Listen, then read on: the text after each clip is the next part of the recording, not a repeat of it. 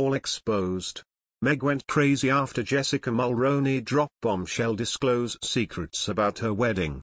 Jessica Mulroney has shared a behind-the-scenes detail about her friend Meghan, Duchess of Sussex's wedding to Prince Harry in 2018. The stylist took to her Instagram stories at the weekend, where she posted a video of herself in the stunning gold floor-length gown she wore for the happy occasion. The beautiful dress is backless and figure-flattering and Jessica sported it for the evening event with a high ponytail and simple gold earrings. However, the glamorous Canadian had to suffer to look so good, as she revealed that the intricately beaded dress design weighed an incredible 30 pounds. Captioning the short clip on Instagram, Jessica wrote, So many of you asked about the designer of this dress.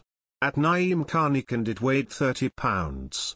For the earlier ceremony, she wore a royal blue dress with a matching hat for the ceremony at St. George's Chapel, Windsor Castle.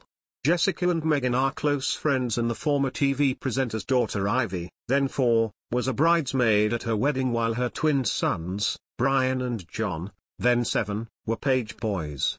Last September, Jessica spoke out about rumors that she and the Duchess were no longer friendly.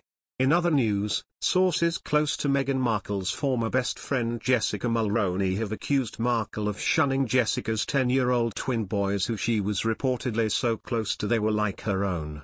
According to OK magazine, the Duchess cut all ties with stylist Mulroney and her family after her once close confidant made a number of problematic remarks to black influencer Sasha Exeter during the throes of the Black Lives Matter movement.